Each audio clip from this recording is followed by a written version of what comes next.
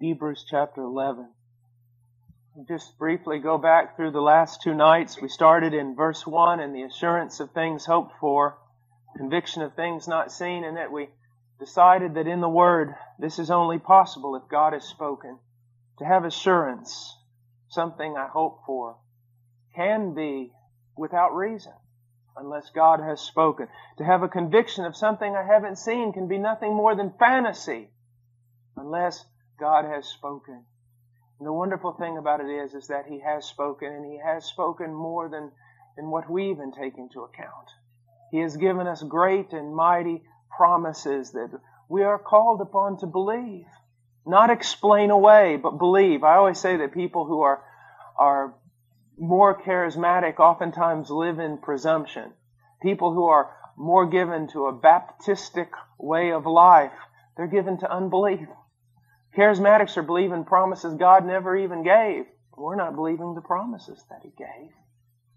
Or we say, God does everything that's His will. He'll answer every prayer according to His will. But in the foundation of that, our foundational attitude is, but it's not His will to do anything. It's God's will to do so much more than what you and I could ever think or ask. That's the one thing I wish you would really come to understand about the person of God. He is much more willing to do great things than you can believe, than you can believe. Men of old gained approval by faith. And we went through different texts, but we'll go back to verse 6. And without faith, it is impossible to please Him. Those two things are very important. Men of old gained approval by faith, and also verse 6, without faith, it is impossible to please Him. Why?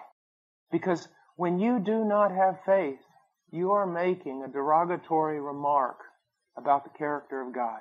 You say, Paul, you've said this every time you've got up and preached because it is so true. To not believe God is to call him a liar or to call him an imbecile. Either he knows what is right and is not telling us, or he's telling us what he thinks is right, but it's not. To not believe God is to attack his character. And then again, I want to say this is so very important that obedience and faith, although they can be seen as two separate entities, we can treat them theologically apart and we can discuss each one as a separate thing standing on its own, but at the same time, they do not stand on their own. We should not believe God simply because, we should not obey God simply because we desire to be a moral people. Let me say that again. We should not obey God simply because we desire to do the right thing. We should obey God because we believe God. We believe when He tells us, do this, that it has an end and a purpose. We believe God when He says, do not do that. We don't do it because we believe.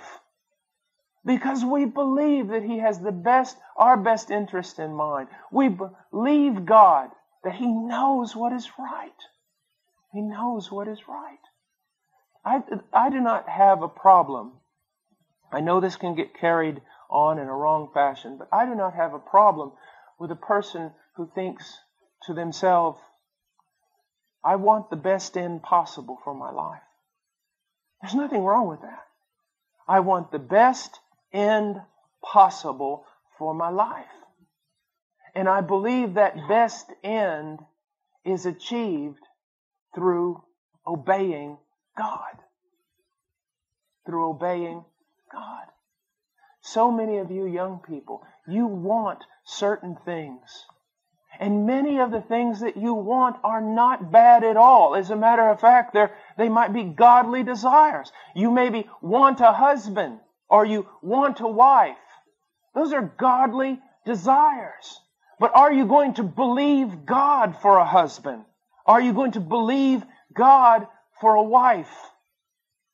You say, oh yes, okay. Then are you going to obey His precepts? Are you going to obey what He says? Are you going to heed His wisdom? Because to the degree that you do that, you believe God, and to the degree that you don't, you do not believe God. In Christianity, the end does not justify the means. But the end and the means are in one accord in Christianity. If the end is bad, the means will be bad, no matter, what you take. And if the, the end is good, It doesn't mean you can use any means. The means must also be good. You want a husband?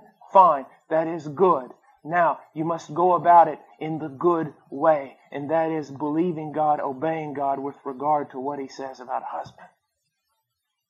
In every aspect of our life, we must throw ourselves upon God. If we can work out a deliverance with our own hands, then we set ourselves in a bad path, a dangerous path.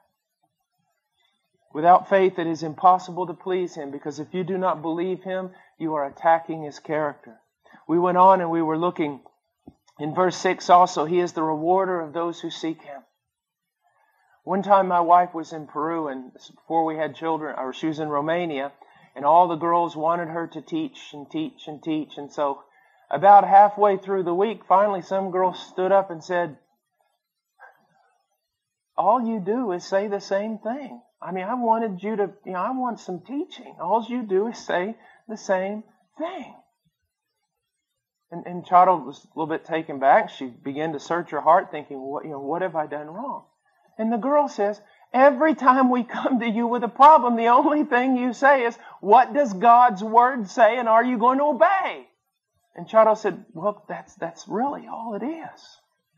What does God's word say and are you going to obey? And she said, and every time we feel like we're confused and every time we feel like we have a need and every time we feel like you tell us to seek God. Yes. You know, we laugh at that and rightly so, but the thing about it is I haven't found myself obeying it to the extent it ought to be obeyed. I mean, with every need, every problem, every confusion, everything that happens, seek God. I know that sounds redundant. I know I say it, iterate it, reiterate it, but it's, it's true. We always want a multitude of messages. Our ears want to hear so many things. And yet the simple things that lead to life, we seem to pass over. Like, it's like Noah. Can you imagine? He preached for 120 years. You know, after probably, you know, 50 years, someone came to him and said, Noah, what are you going to preach today? It's going to rain. But Noah, you've been preaching that for 50 years. Preach something different. No, it's going to rain. I mean, he gets up in the morning, does family devotions. Dad, what are we going what passage are you going to take today? It's going to rain. For 120 years, same message. It's going to rain. And the same thing here this weekend. Seek the Lord. He's the rewarder of those who seek Him. Seek Him, seek Him, seek Him. Standing on my own, I am very terrified person, a very insecure person.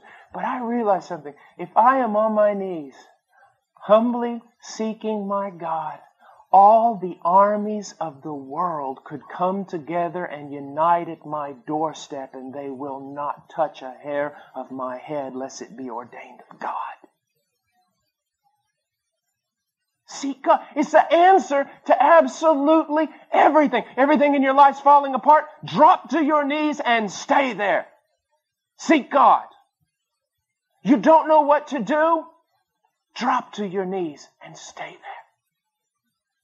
And you say, Well, I've done that. How long? That is one of the greatest questions. Everybody prays for five minutes. Everybody can seek God for a day. Lord, I have no other place to go. If you do not move on my behalf, if you do not speak, where shall I go, Lord? Whom do I have in heaven but you? Who on earth can be my helper? Lord. When Paul said that he was a prisoner of Jesus Christ, I think, I know that he meant that he a prisoner in chains. I know he was a literal prisoner. But I think every time he said that, there was something much more behind that. Lord, I am a man cut off. I see myself, Paul Washer, as a man cut off. God has purposely cut me off from all other help all other solutions, all other powers, all other things. I am a man cut off so that I have only one chance, one opportunity at help, and that help comes from God. And I am fearful to try to work out a deliverance by my own hand. Seek God. He's the rewarder of those who seek Him. He is the rewarder of those who seek Him. He is the rewarder of those who seek Him. Seek Him. Seek Him. In, in Luke 18, we were talking about it around the table the other night, where Jesus gives this just fantastic, almost unbelievable, you know, parable about, about praying and enduring in prayer and persevering in prayer. And that the unjust judge will, will answer, even though he, he doesn't care about anyone, he'll answer. And then he goes on to say, how much more will your Father come to your aid, answer your prayers? Call upon Him, call upon Him, call upon Him. He will act, He will act. He will never not act. If you call upon Him, enduring in prayer, He will always move. And then after saying that, it's almost like Jesus is saying with an attitude, listen guys, just call on Him in prayer. Continue in prayer. He will always move on your behalf. And then Jesus looks and He goes, but then again, when the Son of Man returns to this earth, will anybody even be believing what I just said? I think it's one of the saddest verses in the entire Bible.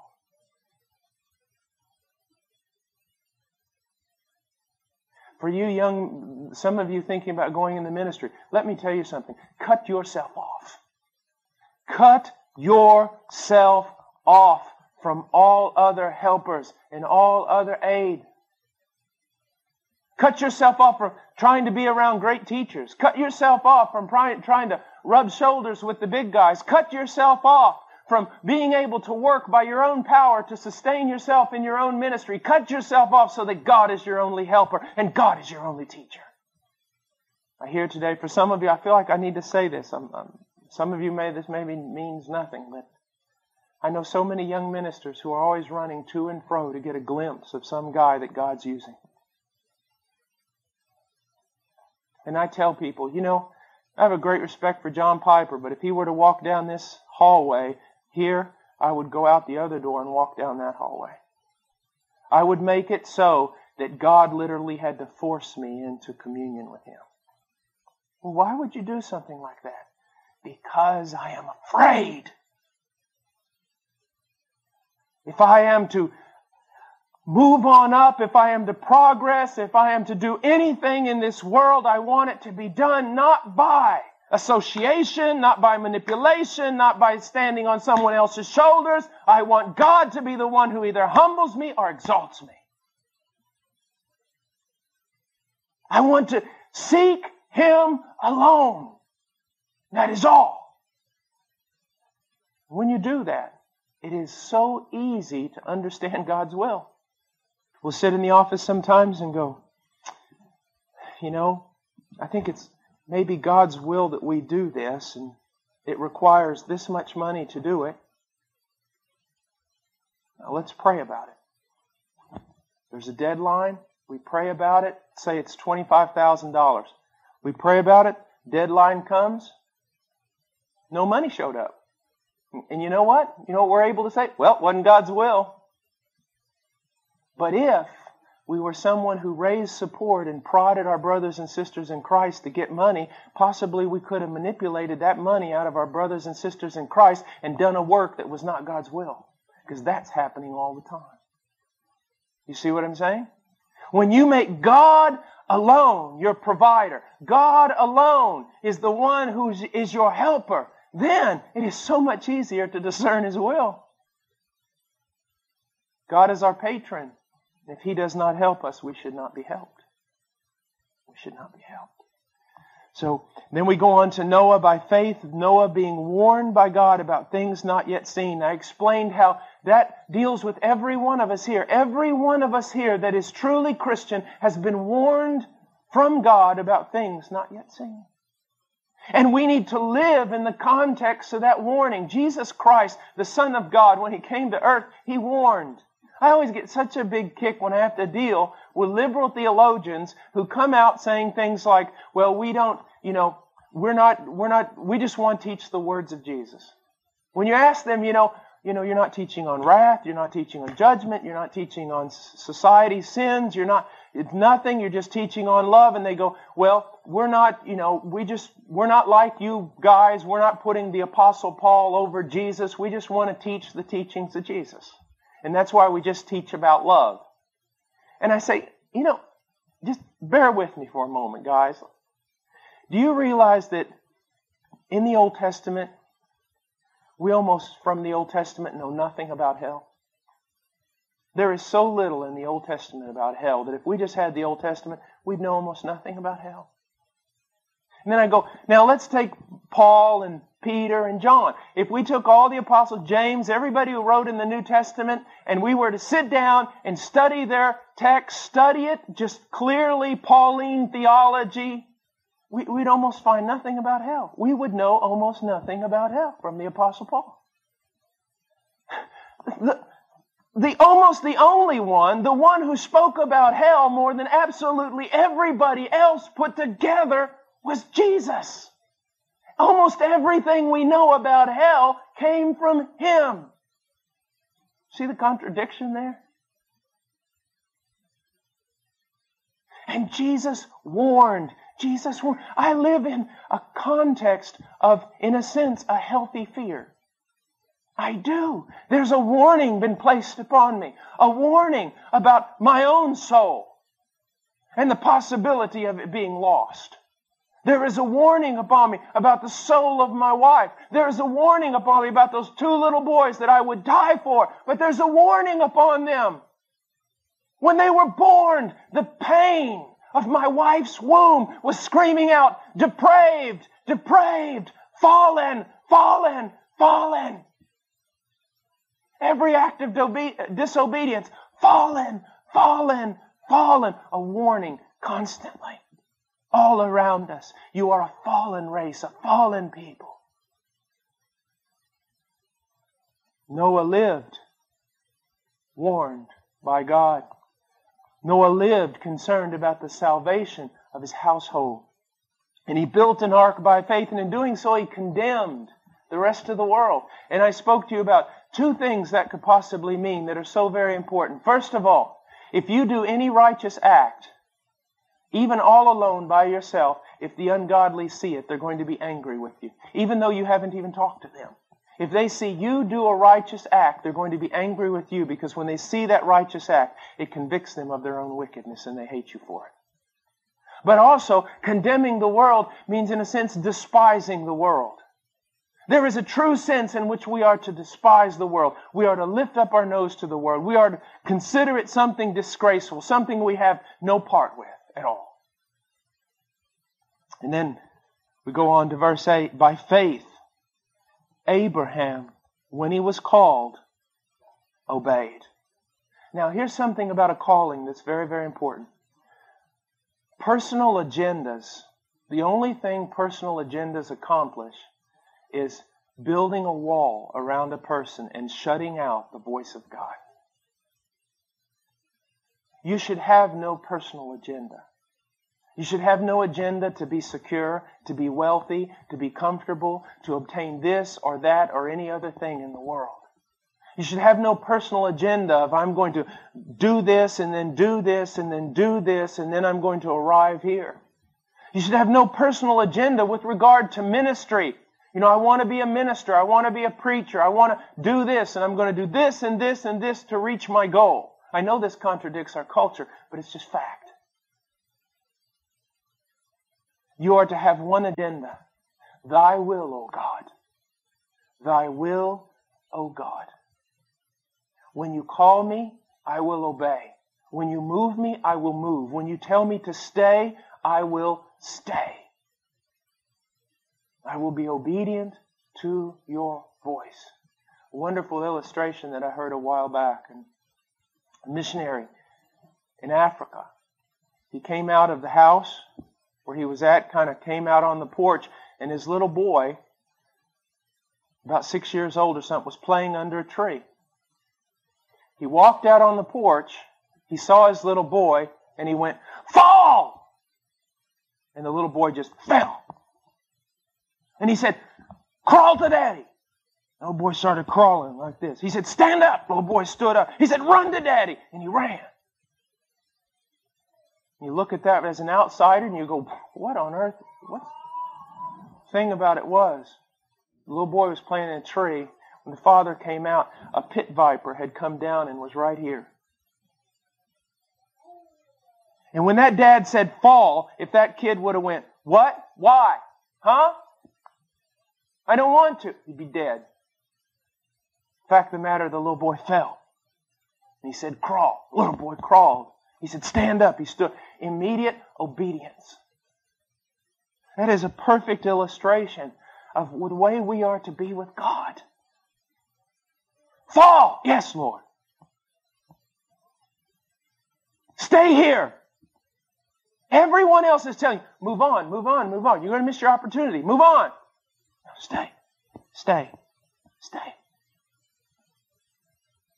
Was raised, we raised quarter horses and Charolais cattle.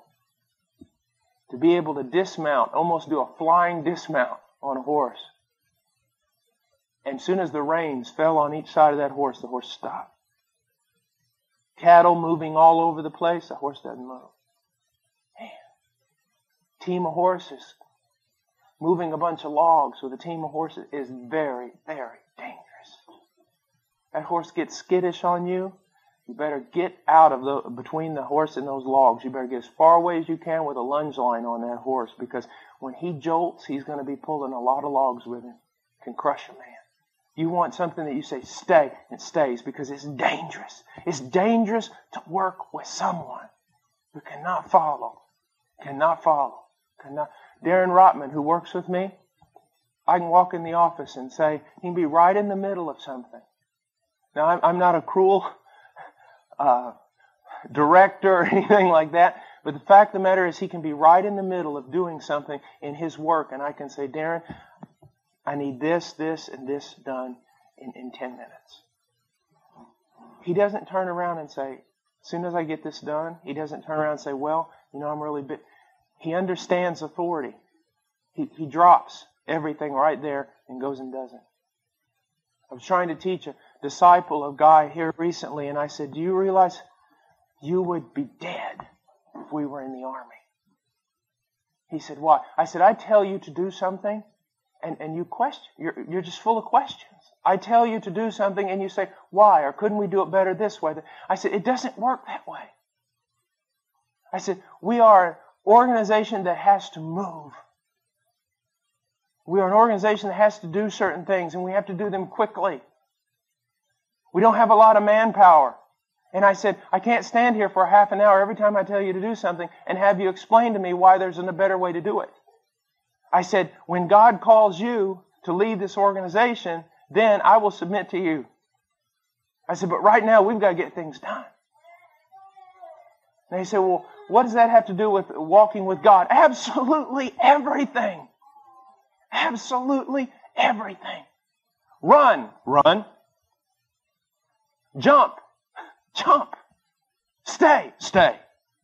And stay is the hardest command. Stay. Stay.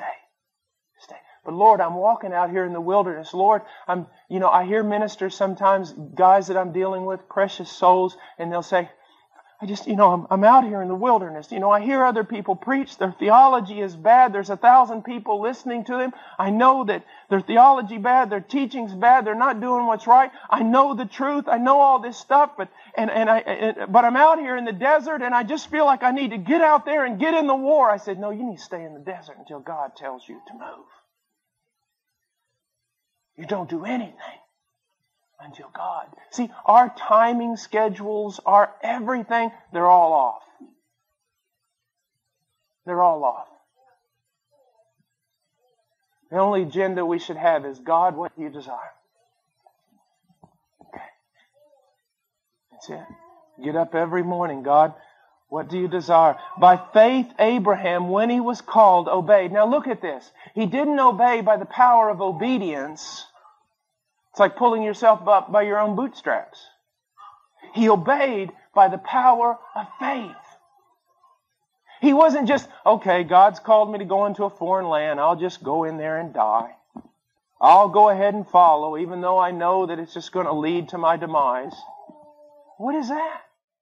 It's just like the disciples, why they were rebuked so severely by the Lord with regard to the storm in the sea. Jesus did not say, let's get in the boat, go halfway across the lake and drown. He said, let's go to the other side. And when the storm came up, they said, we're going to drown. That's not what I said we were going to do. I said we were going to get in a boat and go to the other side. I didn't say we were going to drown halfway there. That's why I'm sleeping.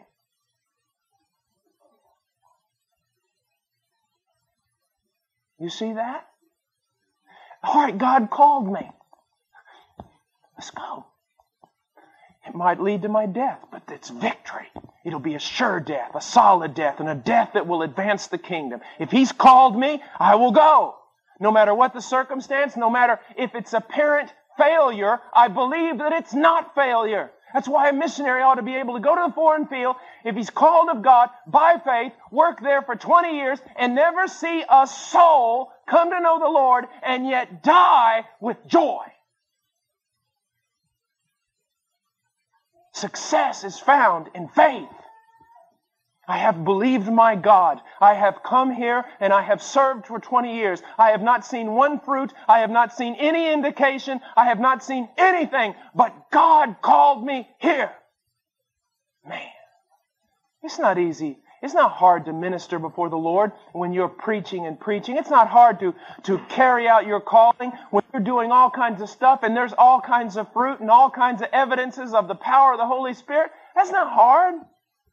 What's hard is go out there and minister when there is no fruit on the vine, no cattle in the stall, nothing but barren dirt. And then everyone, all the carnal Christians around you going, see, we told you so, we told you so, we told you so. This way of yours to do things it's wrong. See? By faith, we go out. By faith, we endure. By faith, we hear Him tell us to do something and we do it and we keep doing it until He tells us to do something else. By faith. By faith. By faith, Abraham, when he was called, obeyed. By going out to a place which he was to receive for an inheritance, and he went out not knowing where he was going. That is as great a definition of faith, or illustration of faith, as the definition we have in verse 1. There are so many elements here that indicate what faith truly is. First of all, God called him. Remember what I said? In order to have faith, there must be revelation. God must speak. God must speak, and He has spoken through His Word. All right? He was called. What did he do? He obeyed. Now, what did that obedience involve? Something that is always involved when we, when we talk about faith. Going out to a place. Not staying in the same place. Faith always has to do with not staying in the same place. You say, well, you mean you have to move physically? Not necessarily. But it is always moving out of your comfort zone. Always. Always moving out of your comfort zone. Going into an area that is not comfortable to you. Now, let me give you a, just a very strange example of this. God called me to go to Peru. Wasn't difficult, really. I was young and zealous. I mean, He could have called me to walk through a fire.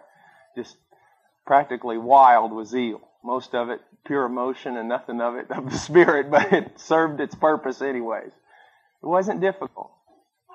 It was difficult for God to call me to come back here. No longer a missionary. I felt more spiritual as a missionary. But He called me, in my opinion, almost it seemed to take a step down. Not up the spiritual ladder, but down the spiritual ladder in, in my own heart, my own wrong way of thinking and to go live like more normal people. That was hard. Another thing that was hard, it's not working uh, 14, 12, 14 hours a day in the ministry. That's not hard. What's hard for me, what requires a greater act of faith on my part, is when God uh, told me, you know, you need to play with your son, and um, you know all that, all those years you've missed making cabinets and building things. Go do that. Go do that. I want you to take time off. I want you to do that. Now, some of you don't understand what I'm saying, and some of you do. But Lord, I want to do this, and I don't want to do that. But Lord, if I worked harder, there'd be more uh, advance. You know, if I didn't take this time out and I just, you know, the kingdom work, the kingdom work. Don't worry about the kingdom, Paul. I'll take care of it. I'm, I'm the king, remember? And as for you, first of all, Paul, I don't need you. I want you. I love you. I don't need you. Secondly, you got a real pride problem. Being able to tell well, people knowing that you're so dedicated to the ministry and you never take any time off for yourself, uh, that's not bringing me any glory at all. And um, you need to be more well rounded. I mean, uh, the world doesn't need to see how a monk lives, it needs to see how a man lives. So um, go to the shop, make something out of wood for your wife. My wife said, Hallelujah, this is the will of God. So this is something that I'm really wanting you to understand. So many times when people hear me preach, because of I know what you know I'm zealous, wild, and you have a wrong idea of what it means to be spiritual. It gets into something very important about the secular and the sacred. We have this idea, it's, it's a Catholic idea actually. It's wrong. That the world is sort of divided up into secular and sacred. There are sacred things and secular things. You know, there are sacred things that pertain to God and bring God glory. And then there are secular things that, well, you just have to do in order to eat, in order to live. That is wrong. Now that we are in the kingdom, in Christ's kingdom, everything is sacred. Your vocation is sacred, done unto the glory of God. Your, your walking through the woods is sacred, your buying socks is sacred. The pots and the pans are sacred. Everything. That's why it's, it's not, well, I, you know, I need to spend more time with God. what does that mean? Well, it means I need to pray more and I need to read my Bible more. Now hold on. You got God back in the closet again. It'd be better to say I need to pray more and read my Bible more, but not I need to spend more time with God. Because you're not supposed to just be spending time with God in your Bible reading and your prayer. You're supposed to spend time with God when you're plowing. See the difference? Tremendous. We can say things. I would love if, if I probably could go back and get another degree or something at the university. It would probably be in language. The philosophy, actually, of language. Do you see how we can say certain things and really not know what we're saying and actually build a prison with our own words? Well, I need to spend time with God. I need to get back in the Word and prayer. Well, you probably need to get back in the Word and prayer, but don't equate that with spending time with God because you're supposed to be spending time with God all the time. And if you do equate it with that, then what you've done is you've put God in a closet to say this, and every, you pull him out maybe an hour a day, and then put him back in there when you go do other stuff. We have a little play that I, I saw in Peru the first time. It was an amazing sort of thing, and some people might say it's a little irreverent, but man, just first time I saw a bunch of Peruvian kids do it, I just thought, man. It's like this guy becomes a Christian in the play and he's reading the word and a guy is kind of behind him acting in the in the play as as as the presence of Jesus. While the kid's reading the word, Jesus is behind him, you know, showing him stuff in the word and everything like that. And then the kid's praying and Jesus is right beside him, just listening and just encouraging him. And the kid's doing all kinds of things. And then somebody comes by and goes, uh, Hey, can we go out and play baseball? You want to, or soccer down in South America. You want to play soccer? And the kid goes, Well, yeah, yeah, I'd like. And, and the kid starts out the door like this, and Jesus is right behind him. This, and the kid goes, No. No, I'm going to play soccer. And Jesus goes, he goes, No, you don't understand. I'm going to play soccer. You stay here. This, your Bible, your prayer. You stay here. I'll be back. I'm going to play soccer. You don't have anything to do with soccer. You don't like soccer or anything else. So you stay here. And it gets into such a conflict that finally the kid goes, Jesus, stay! And takes his hand and goes, now stay! Walks away. You do that. And so do I, in a sense. You don't want to have any, I'm going to get my hair done, Jesus. You don't want to go there. Are you supposed to be going anywhere where he can't come? Are you supposed to be doing anything that he wouldn't rejoice in? You're saying, that's right, you know, we need to avoid sin. We do need to avoid going to places where Jesus, yes, that's true, but I mean more than that. Your Jesus is far too, remember what I talked about to the kids the other day, yesterday, I talked about how we are influenced in our concept of Jesus by Catholic art. And I, I told them, I said, Do you realize, I got them all to close their eyes, and I said, now I want you just to picture a mental uh, image of Jesus. And, and then I said, now I know what most of you are thinking. When they finished, I said, you know, you've got this tall, kind of thin, pale guy with kind of flowing robes and long hair that kind of flips out at the end and everything. And, and I said, do you know why you see that?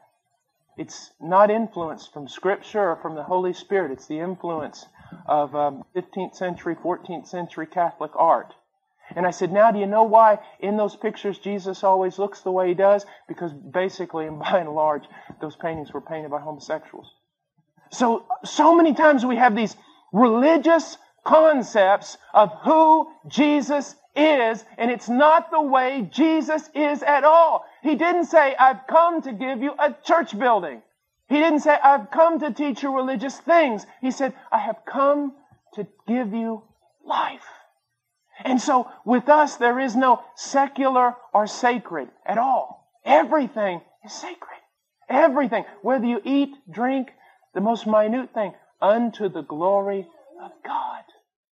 I was sharing with someone yesterday why I love the Celtic, Irish, and such Christian hymns. If you listen to them, you'll note, you'll see nature everywhere. And why is that? Prior to coming to Christianity, they were basically pantheists. I mean, they worship stars and moons and creeks and forests and, and the beauty of it. They worship sunsets. They did all this stuff. When they came to know the Lord,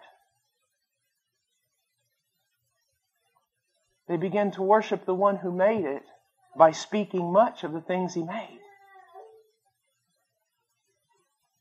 We ought to be poets, all of us. We ought to be wild at heart.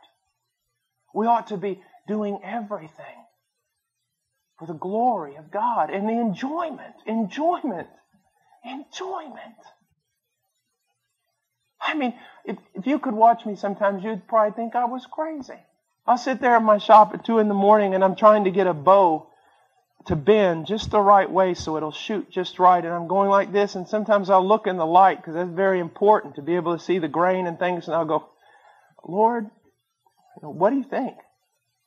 I mean, which way should I go with this? You know, this is a really difficult piece of wood. What's wrong with that? Oh, I forgot. He's only the religious stuff, right? When you can look at a leaf it's fallen from a tree and it causes you to fall down and worship God, you're getting to where you need to be. And you can feel that warm day in the night, the Lord changed something, didn't He? He brought in a breeze to bring some warm weather. You can look at that and go, that was for me. You're getting to where you need to be. This is why I always flunk preaching in seminary because I just go crazy and go all over the place. Let's try to get back to the text. Now, he went out to a place, he came out of his comfort zone. All right, he goes out to a place which he was to receive for an inheritance, and he went out not knowing where he was going. You know, so many young people come to me today and they go, You know, I want to find out the will of God for my life. I go, You're asking the wrong question. That's, that's not even something you should be concerned about. What you should be concerned about is obeying the commands of God, being pleasing to God this day, and seeking God's face. He will lead you. You never see in the Old Testament, you know, the patriarchs sitting down there going, Lord, show me the will of God for, for my life. You know, show me the path that I'm. No, every day they got up and they did not really discern specifically the will of God until at the end of their life when they looked back and they saw what He had done. And we're, we're wanting a future. We're wanting to know the future instead of being able to look back and marvel at the past. Now, why are we so concerned about that? First of all, because we're not trusting God. We feel like we need to know where He's going to take us. Why? Second of all, now this is very important. I want you to listen to this. We glory in being able to think that we can hear, that we are sensitive enough to hear from God. When I talk to young people and I talk to them about God's will, I always say this I do not trust in your ability to hear God, but I do trust in God's ability to lead you. We have equated so much with us and our own ability. Well, I need to discern God's will in order to know how I should walk into the future. No, He's going to lead you. Even though he doesn't even speak to you, he will lead you. And you will know it is his will when he takes you where he wants you to go. Moses said basically, God, how am I going to know all this is, you know, of you? He said, well, when you're in the promised land, you'll know it's of me. I am not concerned with the decretive will of God. I am concerned in my own life with the preceptive will of God. What do I mean by that? God has decreed certain things for Paul Washer. Many of them are hidden from me. He has decreed things for me. He has, he has ordained good works that I am to walk in, and He's going to see to it that I do. Now, most people spend their entire life thinking that living by faith is trying to discern exactly where God wants them to go and who they're going to marry and if they're going to go here or they're going to go here or they're going to be a missionary or they're going to be a carpenter or what and they're trying to figure this out and they waste so much spiritual energy and become so confused, their mind just ringing with confusion, trying to discern God's will that God's already decreed for them. Instead of wasting all that spiritual energy trying to figure out the future, why don't you do what you're supposed to do? Spend all that spiritual energy obeying God's commands today. His written commands, His precepts, His wisdom. His precepts and His wisdom. And you will find the will of God in those. It's very, very, very important. He did not know where he was going. I don't know where I'm going. I don't know where I'm going. If you ask me where I'm going to preach next month, I don't even know that. I mean, I the thing is, people say, What's your vision or plans for HeartCry? We don't have any. What do you mean you don't have any? We're going to all show up the office tomorrow and pray. You say, What's the future? HeartCry might not have a future. God might put an end to the whole thing next month. But that would be terrible. Why would it be terrible if it was God's will to put an end to it? Why prop up something that's not God's will? Well, you'd be so embarrassed. And who am I? Well, I have to worry about that. I'm an embarrassment to start off with. He doesn't say out in the woods, he says under the trees. We go out under the trees. He never knows where he's going. But he doesn't have a problem with that. He's walking, he's just happy to be in the woods. And where he's going is right with dad. Dad knows where he's going, but he doesn't know, need to know where he's going. It's the same way with the Lord. My Lord knows where he's taking me. He has the power to take me there. He has the discipline and strength to lead me there and make sure I get there. In His providence, I'm going to get exactly where He wants me to go, and I don't need to know it.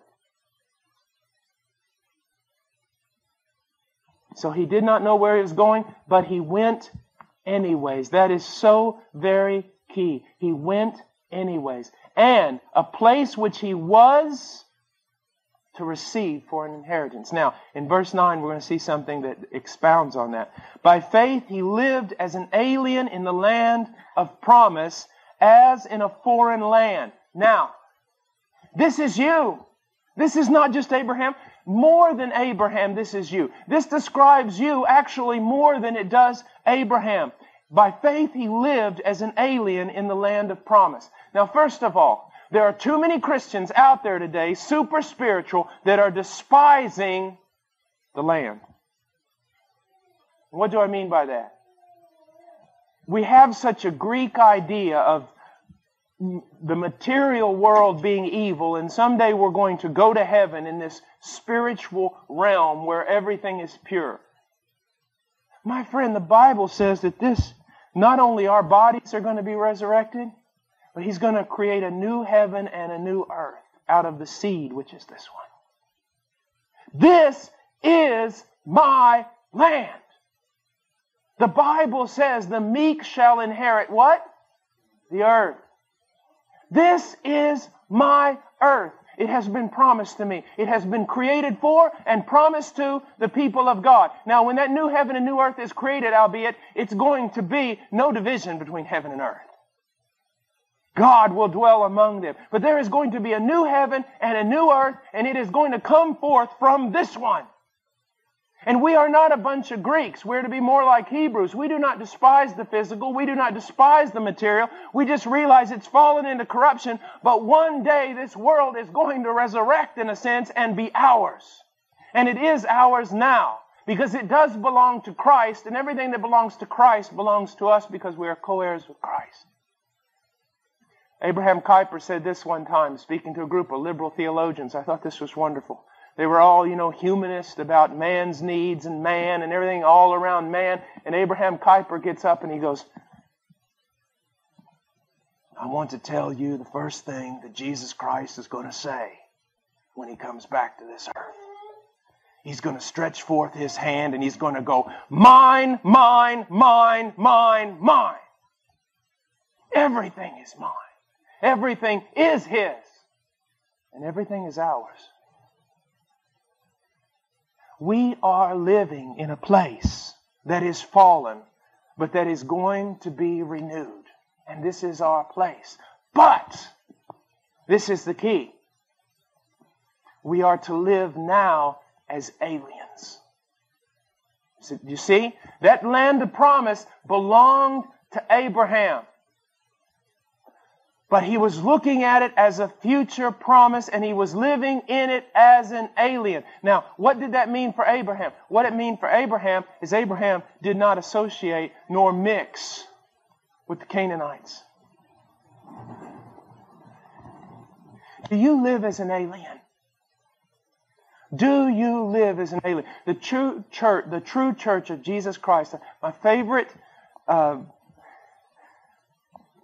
nomination, my favorite way of speaking of the, of the church of Jesus Christ is a strange speckled bird. Are you a strange speckled bird? In this fallen world, do you stand out as unusual, even strange? Do you stand out? Like a speckled guinea. Do you stand out? Or when, when do you just fit right into the world? You look like a citizen of the world.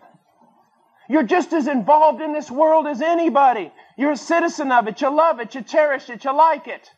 This fallen system. You don't, you're not set apart. You don't look different. You don't act differently. You don't talk differently. You don't spend your money differently. You don't do anything differently except come to church on Sunday. You know, you can recognize an alien really quick. I've lived in many countries where, where I was the only American for, you know, an unusual thing to see. And everywhere I went, people would look.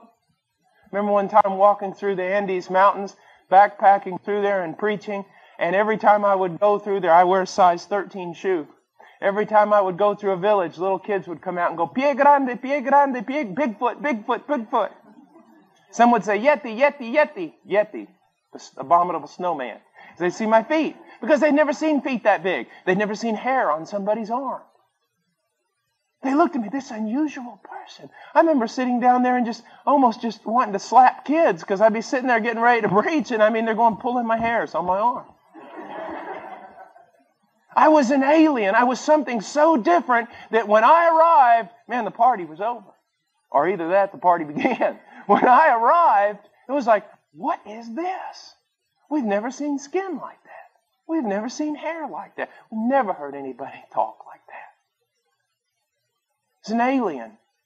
Do you look like an alien? Do you look like someone different than the citizens of this world? You say, Oh, Brother Paul, you can't judge a book by its cover. Who told you that? Where'd you learn that? Did you get that out of the Bible? You didn't. Matter of fact, the Bible says just the opposite. You can judge a book by its cover. And let me just say something here, especially to you young people. The way you talk, the way you dress, what you listen to, and all these things, all those things summed up is not necessarily the full content of the Christian life. But let me tell you something. I can look at the way you dress, the way you walk, the way you talk, and everything, and I can learn a lot about you, about the inward realities in your life. Young people, you live in a world that is sensual, filthy, degrading, and everything else. Do not be like them. Do not be like them. Because you're falling into a trap that you don't even know about. Let me, let me just give you an example. It's a vulgar example, but it, it's good. I was in church, and this boy walked in. He had his pants hanging down here like they do nowadays. His pants is hanging down, and he was just well, I don't know if any of you know about it, but I mean, it looks like, you know, I, I want to take a nail gun and staple his pants on. But he's got his pants hanging down like this, and he's just walking around thinking he's the coolest guy in the world. And he starts talking to me, and he was talking about the Lord and stuff. And I said, Do your parents know? He said, Know what? I said, Well, you know. Uh, do your parents know? How do they feel about this? And he goes, What are you talking about, Brother Paul? I go, Well, how long have you been a homosexual? And he goes, What? I said, No, really, how long have you been a homosexual? I mean, I personally, you know, the Bible teaches against it, but I'm not against you. I want to help you. Just let me talk to you for a while about the Lord because I want to know how long have you been a homosexual. He goes, I'm not a homosexual. Why are you saying this? I'm sitting here talking to you about the Lord. I'm not a homosexual. I go, Well, of course you are. I said, Now you're with someone who really cares about you, so don't get upset. I figured I'm really going to play this up. You know, I said, Don't get upset. I want to help you. He goes, Why? Why do you say that? I said, Well, of course, the way you're dressed. Your, your pants hanging down and part of your, you know, your shirt's hanging like that and you're kind of, you see a little bit of your briefs there in the back, the way the kids are doing it today. And I just, you know, I want to know. I want to help you. I want to get you back on the right path. He goes, What are you talking about? I'm not a homeless. I said, Of course you are. I said, Young man, do you know where that came from? He said, Where? I said, In prison. When you're in prison and you're a homosexual and you have just broken up with your boyfriend, in order to tell the other inmates that you want another boyfriend, you pull your pants down just a little bit and show your brief and let your shirt tail hang out like that. That's where it came from. He said, I had no idea. And I said, yes. And most of what's called Christendom today has no discernment whatsoever. The stuff the devil's putting on their plate. And you do things and you don't even know they're straight out of the pit of hell. It's true. It's true. It's true. And I'm an expert. Why? It's just like when I tell you, when I told you when I began my sermon. And the reason why I told you that is so that you would see something later on. I myself, I, I think I, I have the Spirit of God. There is fruit in my life that I'm a genuine Christian. But I live in a Christianity and preach in places that rub off on you. And then every once in a while I come back and get kind of centered back in the Word, I realized, what on earth? I've been, for the last six months, I've been preaching in Six Flags over Jesus. I've been preaching in circuses. I've been, what? Help me. And if it can happen to me after 21 years of walking with the Lord, every time I go to Romania or Nigeria or somewhere, it's like a wake up call. I'm like, where, how did, what happened to me? It's so easy. It's so easy. So easy. Are you living as an alien in the land of promise? And it is not a proud thing to embrace the promise. What do I mean by that? You know, listen, I just want a little house over on the side of the hill in heaven. I don't want nothing big. You ever hear people say that? Just a little shack over in glory. You know what you're saying when you're saying that? First of all, you have a doctrine of works for salvation. That whatever you get from God is what you work for. Now you're saying you're real humble, that you haven't worked for much, and therefore you're not going to get very much, but that's all right with you because you're humble. Nevertheless, the whole system of theology you've built up is nothing but a system of works that brings no glory whatsoever to God. Give me the bold believer who embraces the promise. This world is mine. Well, how did you get it? Well, this is where the Christian is different from every other religious system on the face of the earth. I got it through the virtue and merit of my older brother.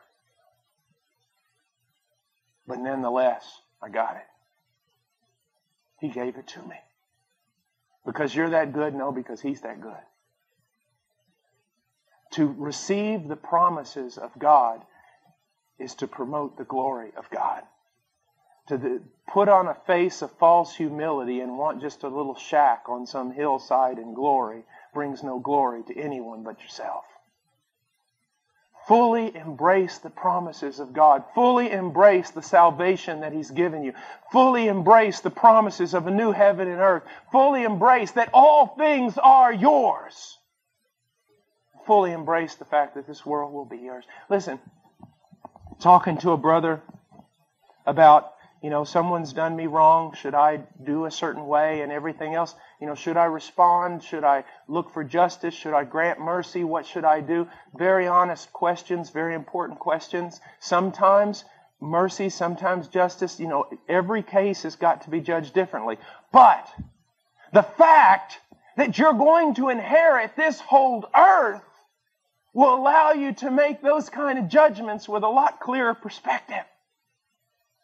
And to know that you are going to inherit the whole earth can keep you from greed in this life. It's not a question of whether or not I'm getting everything. It's just a question of when. Because I am. And I can wait. I can wait. Someone does me wrong, I can let them do me wrong. Unless I have to make a stand for justice, I can let them do me wrong on the personal level. Why? Because one day all wrongs will be righted. And, and I don't need to go out and try to buy a bunch of stuff or, or live in a bunch of luxury or try to grasp things in this world because all of it's mine. I, I, it will soon be mine.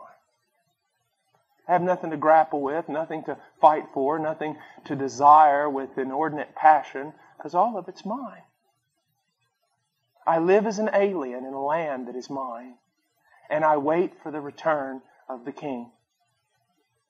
And he was an alien. It says here, by faith he lived as an alien in a land of promise, as in a foreign land. This is my land. This is your land. But right now I live in it as a foreign land. But by faith I do not get discouraged. I can dwell in tents. What does that mean? Why does he, how do we dwell in tents? We dwell in tents by not selling our homes and buying a bunch of canvas. We dwell in tents by this world having no temporal hold on us. If God opens up the door, God gave me a house. I have a house. I like my house. I like my house better than living in a tent. But if God says, sell your house tomorrow and give everything away to the poor, to missions, then that is to be done. Why? I'm an alien. And God will take care of me and my family. I'm a tent dweller. I'm not, not only am, I'm not to have a grabbing hold on anything, and nothing is to have a grabbing hold on me. And you say, yes, that's fair. No, it's not because of humility. It's not because of, of uh, devotion or piety. It's because of faith. I don't need to grab it now. It's mine to start off with. And I just have to wait to inherit it. You say, but you're running out of time. No, I'm not. time is running out so that eternity will come. And in eternity, there's no time. I don't need 70 years or 85 years to enjoy this world. I have eternity coming. I have eternity coming. And so many of you have such a mythological idea of heaven, of kind of just sitting on clouds and floating and playing harps. Ah, uh-uh. new heaven and a new earth.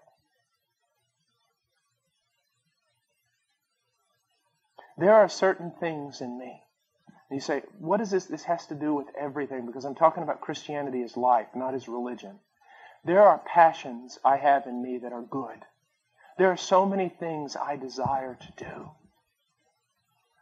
And I believe that they were implanted in my heart by God.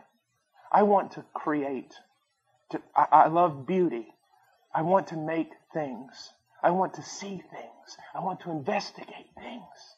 My goodness, you could, you could spend 40 years just looking in a mud hole at a tadpole. I mean, there's just so much there. I don't have time for that now. Whatever time I have, I use it for that. But I can't spend 24 hours a day investigating all the things I want to investigate and building all the things I want to build and, and, and exploring and inventing and do all the stuff I want to do. I can't do it, but I'm not in despair because one day I will. One day I will. Children like my heaven a lot more than they like yours. He went out.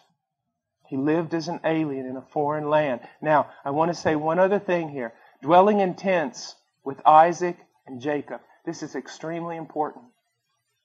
Many of us can trust God with our own lives, but can we trust God with our children? I've heard people say about missionaries, well, they were, you know, single missionaries, then they were married missionaries, that's okay. But now that they have children, they're going to have to really think about living differently now. Okay? You can trust God for yourself, but you can't trust God for your children. God can take care of your children in a tent. God can take care of your children. I was doing what I usually do. Uh, last week I was moping a bit and I said, Charo, I'm just, you know, you know, I'm, I'm just trying to make ends meet here and I'm trying to, you know, I'm, I'm frustrated. I, I, need to provide some things for my children. I need to, you know, their future and everything. And Charo looked at me and goes, God can take care of your children. Okay, I'm going to go out to the shop now. God can take care of your children. He can. He can take care of your children. They told a Romanian brother they were persecuting him, they were beating him, and he would not break. And uh, they said, okay, fine. They brought in his children in front of him. And they said, if you don't break, we'll get your children your family. And he stood up and he said, My God can take care of my family, my wife, and my children. And he sat back there. They let him go. They were afraid. He can't. He can't. Let's pray. To listen to more vintage sermons from godly pastors of old, visit I'llBeHonest.com or download our app for easy access.